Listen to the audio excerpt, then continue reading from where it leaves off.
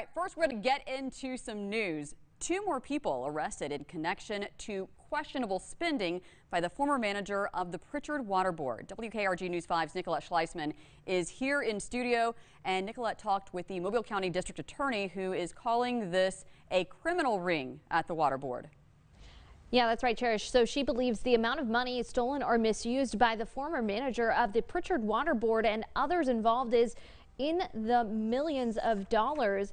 Now, those two newest arrests, former public services supervisor for the water board, Randy Burden, who you see on the left of your screen, and current service manager, Teresa Lewis, who is on the right of your screen.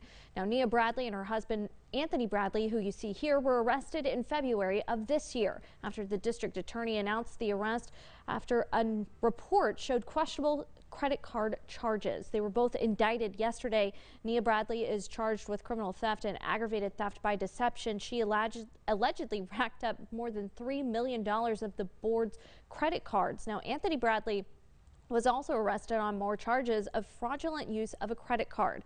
Now, the Mobile County District Attorney says this is a lengthy investigation involving multiple sources and says there is the potential for additional charges filed. And she reiterated, Cherish, that this is not over. And Nicolette, you said Teresa Lewis is still working at the water board. Yeah, she is. So the lawyer for the Prichard Water Board tells us, however, she was not at work today. He did not know why. Now, he says the water board found out about her indictment through the media, and the board is going to meet and decide what to do with this situation very early next week. Okay, we know you'll be following up for us. Nicolette, thank you.